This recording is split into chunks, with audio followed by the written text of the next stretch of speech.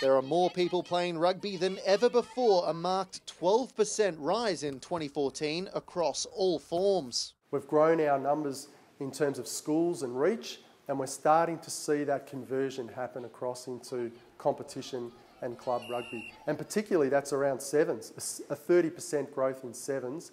Especially the women's game, which enjoyed a significant rise. The chance for an Olympic medal proving too good to refuse. Yeah, well, in Australia it's been an 18% growth uh, for women, but across the globe that is the, uh, the game that is growing women's rugby.